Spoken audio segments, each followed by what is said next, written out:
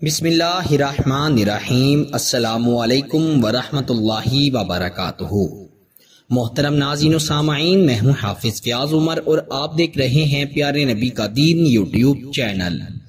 मैं उम्मीद करता हूँ कि आप सब खैरियत से होंगे और अल्लाह ताला से दुआ करता हूँ कि अल्लाह ताला आपको सदा खैर आफियत के साय में रखे। प्यारे दोस्तों, आज का वजीफा माह रबीउल अव्वल के हवाले से है। माह रबीउल अव्वल जो कि मुबारक महीना है, पहाड़ वाला महीना है, क्योंकि इस महीने में नबी पाक सल्लल्लाहु अलैहि वसल्लम की पैदाइश हुई थी। इस महीने में बहुत से मौजात भी हुए थे, क्योंकि वो सारे मौजात नबी पाक सल्लल्लाहु अलैहि वसल्लम की पैदाइश के साथ मुंसलिक हैं। इस महीने में बहुत से वज़ाइफ और अमाल किए जाते हैं हर अकीदतमंद अपनी अपनी इस्तात के मुताबिक महाफिल का अहतमाम करता है। गलियाँ बाज़ार सजाए जाते हैं। नबी पाक सल्लल्लाहु अलैहि वसल्लम की मोहब्बत में दरुद पाक के गुलदस्ते पेश किए जाते हैं। बे इंतहा ऐसे अमाल किए जाते हैं जो कि अल्लाह ताला को भी बहुत महबूब हैं। मेरे प्यारे दोस्तों, आज मैं इसी मुनासबत से माह रबीउल अव्वल में आपकी खिदमत में एक ऐसा वजीफा लेकर हाजिर हुआ हूँ, जो कि रिस्क के हवाले से है, मालो दौलत के हवाले से है। अगर कोई भाई, कोई बहन रिस्क की तंगी का शिकार है, अगर किसी के कारोबार में बरकत नहीं है, किसी के घर गुर्बत तंग दस्ती है, आज हमारे मुल्क के हालात भी बहुत खराब हो चुके हैं। जिसकी वजह से तकरीबन हर इंसान रिस्क की तंगी की वजह से, मालो दौलत की तंगी की वजह से परेशान है। तो मैंने सोचा कि आपके साथ माह रबीउल अव्वल के हवाले से रिस्क के मुतालिक वजीफा शेयर किया जाए, जिससे नबी पाक सल्लल्लाहु अलैहि वसल्लम के वसीले से आपके रिस्क में बे इंतहा बरकत होगी, आपके मालो दौलत में बे इंतहा बरकत होगी। वजीफा बहुत ही आसान है। वजीफा बताने से पहले आपसे छोटी सी गुजारिश करूँगा कि अगर आपने अभी तक हमारे चैनल को सब्सक्राइब नहीं किया तो जल्दी से हमारे चैनल प्यारे नबी के दिन को सब्सक्राइब कर दें और साथ ही लगे बेल के बटन पर भी क्लिक कर दें, ताकि हमारी हर आने वाली नई वीडियो का नोटिफिकेशन आपको आसानी मसूल हो सके। मेरे प्यारे भाइयों और मेरी प्यारी बहनों आपने माह रबीउल अव्वल में ये वजीफा पूरे महीने करना है। और सिर्फ़ आपने इसको और माह रबीउल अव्वल तक महदूद नहीं रखना, बल्कि आप इस वजीफे को हर दिन करना अपनी आदत बनाएँ, क्योंकि ये नबवी वजीफा है। नबी पाक सल्लल्लाहु अलैहि वसल्लम का बताया हुआ वजीफा है।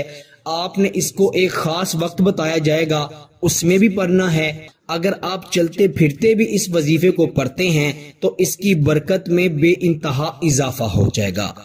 हज़रत अब्दुल्ला बिन उमर रदी अल्लाह तह फरमाते हैं कि मैं नबी पाक सल्लल्लाहु अलैहि वसल्लम के पास बैठा हुआ था कि एक शख्स आकर नबी पाक सल्लल्लाहु अलैहि वसल्लम की खिदमत में हाजिर हुआ और रिस्क की तंगी का शिकवा करने लगा। तो प्यारे नबी सल्लल्लाहु अलैहि वसल्लम पहले तो टेक लगाकर बैठे थे, फिर जब उसकी ये बात सुनी तो नबी पाक सल्लल्लाहु अलैहि वसल्लम टेक छोड़कर आगे होकर बैठ गए तो फरमाने लगे ऐ मेरे प्यारे सहाबी, क्या तुमने उस तस्बी का नहीं सुना, जो कि मलाइका की तस्बी है? तुम उस तस्बी को सुबह सादक से लेकर सूरज के तलु होने तक पढ़ो तो इनशाला सारी दुनिया नाक रगड़ती हुई तुम्हारे पास आएगी, तुम्हारे माल में बरकत होगी, तुम्हारे रिस्क में बरकत होगी। वो तस्बी मलाइका की तस्बी है, और वो तस्बी सुबहान अल्लाह व बिहमदिही सुबहान अल्लाह अजीम, अस्तगफिरुल्लाह है। मेरे प्यारे दोस्तों, एक सौ मरतबा नबी पाक सल्लल्लाहु अलैहि वसल्लम ने पढ़ने के लिए फरमाया है, आपने एक सौ मरतबा सुबह जब नमाज़ के लिए उठे तब पढ़ लें, या सुन्नत और फ़र्ज़ के दरमियानी वक्त में पढ़ लें। आपने सूरज के तलु होने से पहले, यानी सूरज निकलने से पहले पहले एक तस्बी सुबहान अल्लाह व बिहमदिही सुबहान अल्लाह अजीम, अस्तगफिरुल्लाह की पढ़नी है। यानी सो मरतबा आपने इस तस्बी को पढ़ लेना है और आपने अगर चलते फिरते भी इस वजीफे को इस तस्बी को पढ़ा तो इनशाला इसकी बरकत में बे इंतहा इजाफा होगा। आप इस वजीफे को रबीउल अव्वल के हर दिन करें और आप रबीउल अव्वल का महीना गुजरने के बाद भी इस वजीफे को थामे रखें। यकीन करें, सारी दुनिया नाक रगड़ती हुई आपके पास आएगी। आपके पास बे इंतहा मालो दौलत होगी। आपके पास रिस्क इतना होगा कि ना सिर्फ़ आपके लिए, बल्कि आपकी औलाद के लिए, आपकी नस्लों के लिए भी वो काफ़ी होगा।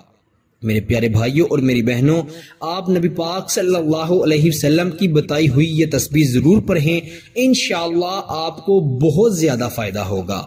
जब आप यकीन के साथ इस तस्वीर को पढ़ेंगे तो मैं कहता हूँ कि अल्लाह की कसम आपको इतना फ़ायदा होगा, इतना फ़ायदा होगा कि आप हैरान रह जाएँगे। आप इस वीडियो को अपने दोस्तों और रिश्तेदारों में भी शेयर कीजिएगा और इस वीडियो पर खुद भी अमल कीजिएगा। अल्लाह पाक सबको अमल की तोफीक अता फरमाए। आमीन, सुम आमीन।